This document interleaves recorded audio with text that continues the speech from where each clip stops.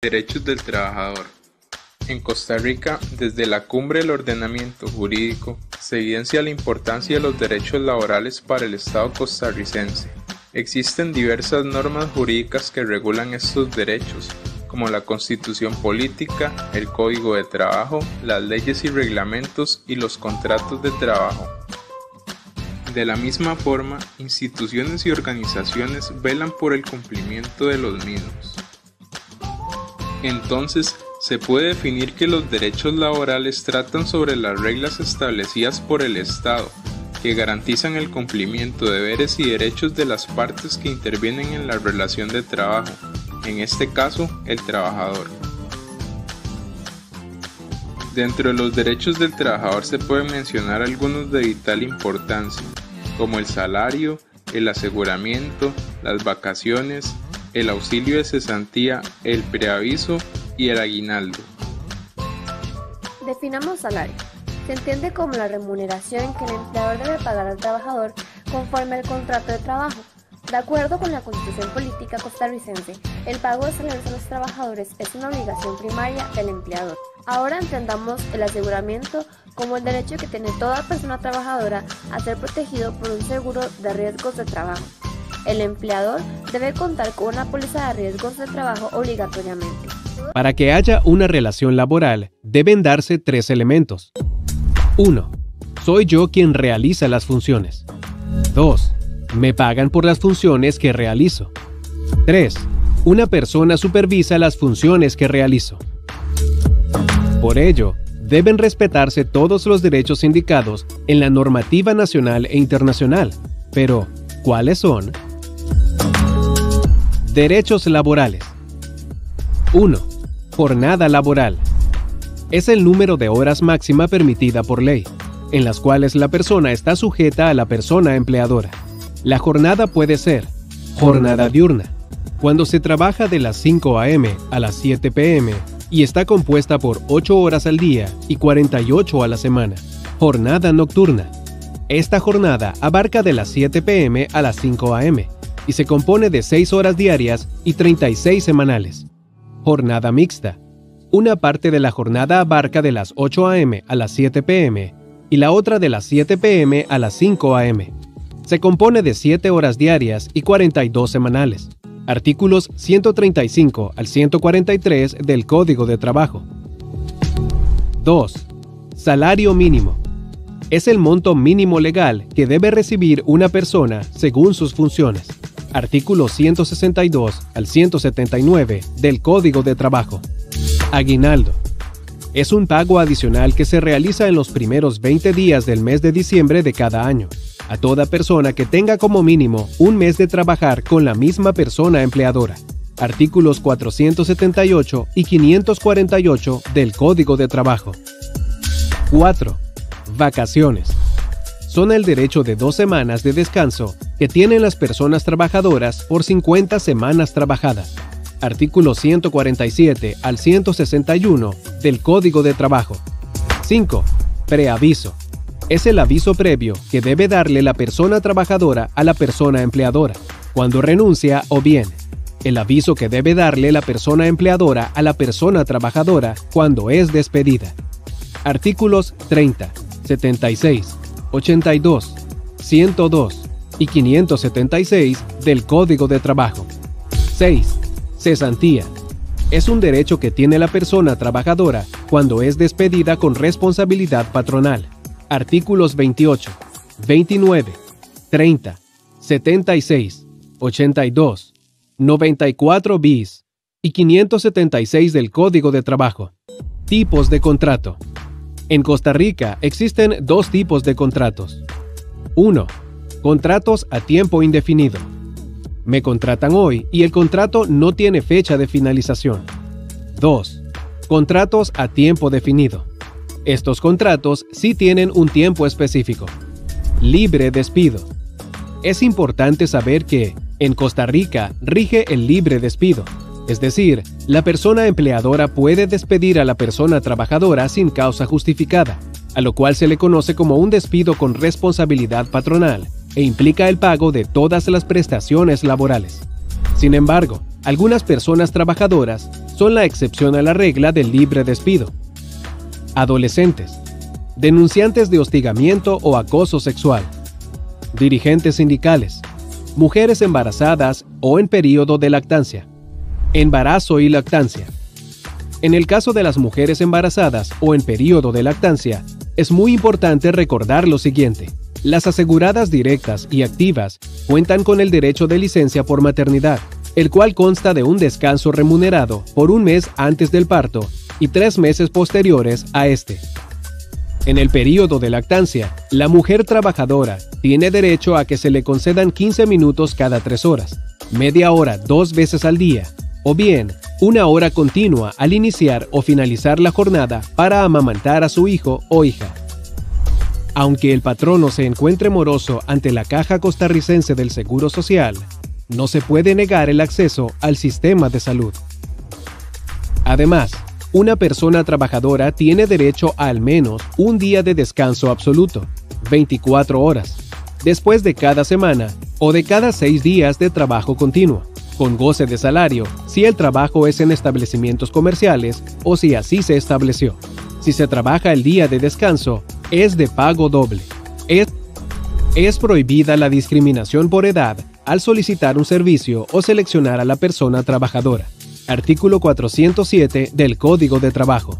Es prohibida cualquier discriminación en el trabajo, ya sea por razones de edad, etnia, sexo, religión, raza, orientación sexual, estado civil, opinión política, ascendencia nacional, origen social, filiación, discapacidad, afiliación sindical, situación económica o cualquier otra forma análoga de discriminación artículo 404 del Código de Trabajo. Toda persona empleadora está en obligación de asegurar a sus trabajadores contra riesgos del trabajo por medio del Instituto Nacional de Seguros. Artículos 4, 18 y 193 del Código de Trabajo. Toda persona trabajadora debe estar asegurada en la Caja Costarricense de Seguridad Social. Desde mediados del siglo XX, Costa Rica ha estado a la vanguardia en materia de derechos laborales y legislación para el área de trabajo.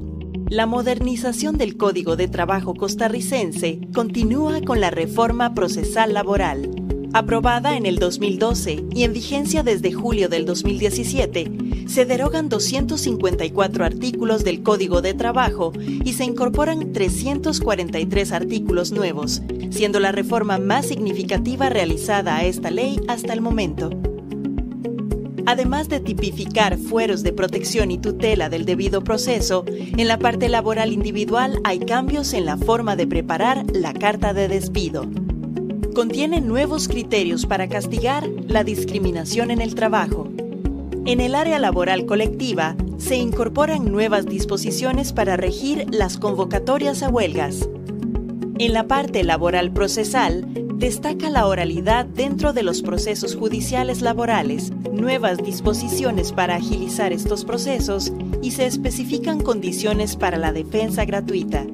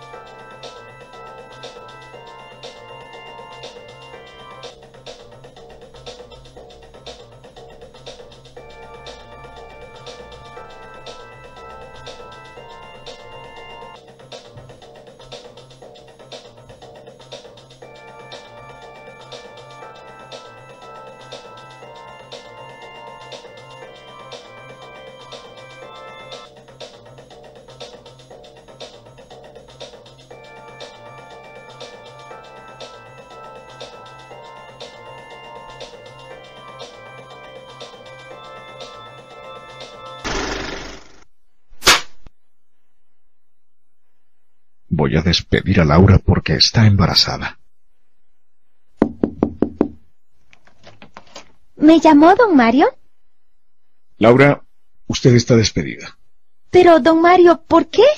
Mire, encontramos errores suyos muy graves. ¿Pero qué hice? Usted sabe que tengo cinco meses de embarazo. Laura, la decisión está tomada.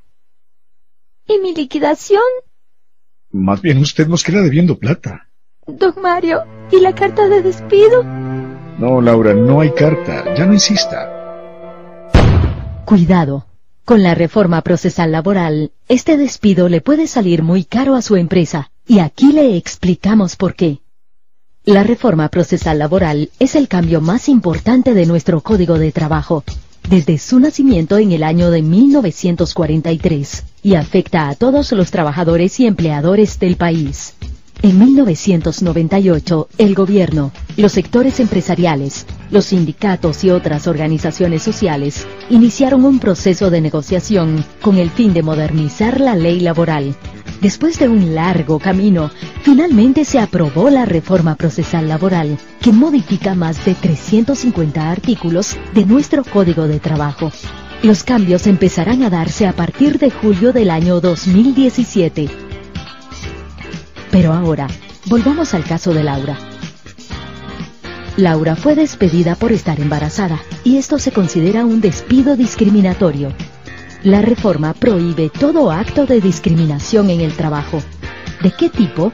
Por edad, religión, raza, orientación sexual, estado civil, discapacidad, situación económica y otros similares. A raíz del despido, Laura tendrá derecho a contar con la asesoría de un abogado pagado por el Estado porque la reforma introduce el beneficio de la justicia gratuita. Ya ella tendrá quien la represente en el juicio y exija el cumplimiento de sus derechos. ¿Qué trabajadores tendrán derecho a contar con asistencia legal gratuita? Los menores de edad, trabajadoras con reclamos por maternidad, quienes sean víctimas de discriminación o cualquier trabajador que gane menos de dos salarios base por mes. Otro cambio importante de la reforma es que los juicios serán orales. Esto quiere decir más rápidos, por lo que se espera que la sentencia llegue en menos tiempo del que estamos acostumbrados. Y en el caso de Laura, al tratarse de un reclamo por discriminación, sería aún más rápido porque la reforma obliga al juez a darle prioridad por medio de un trámite de tutela especial. Laura, en mucho menos tiempo que ahora, podría ser reinstalada en la empresa y recibir el pago de las indemnizaciones que la ley le reconoce. Además, a partir de la reforma, toda empresa que despida a un trabajador está en la obligación de entregarle una carta detallada con los motivos de la terminación. Recordemos que en el caso de Laura, esto tampoco se cumplió. Y otro punto es que Mario, el jefe de Laura, podría perder el empleo porque con la reforma los actos de discriminación califican como una falta grave y se castigan con el despido. ¿Qué otros cambios trae la reforma? Ya hablamos de cambios en temas de discriminación, justicia gratuita, la oralidad y la reducción en el tiempo de los juicios. ¿Qué más hay? Derechos irrenunciables, al dictar sentencia, el juez puede darle al trabajador más dinero del solicitado en la demanda. Además, en toda sentencia que condene al pago de una suma de dinero, el juez incluirá los intereses legales, la indexación y las costas. La reforma permite las huelgas en toda la empresa, pero también se podrían dar huelgas en solo una parte de la compañía o en determinados departamentos. Los huelguistas podrían elegir también entre huelgas intermitentes, graduales o escalonadas. Sobre las huelgas ilegales, la reforma señala el proceso de declaratoria y sus consecuencias. Por suerte esto fue solo un sueño. Mejor sigo estudiando la reforma procesal laboral y así evito cualquier problema.